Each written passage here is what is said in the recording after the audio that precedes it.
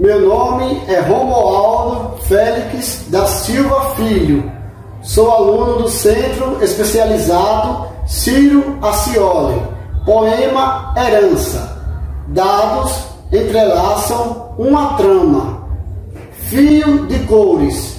Fio multicores. Cores frias, cores quentes, cores neutras. Tramam o trabalho da artesã. É filé da maré, da lagoa do pontal.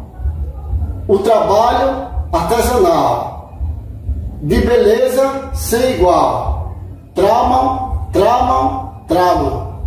Laça e entrelaça, repuxa e fica graça.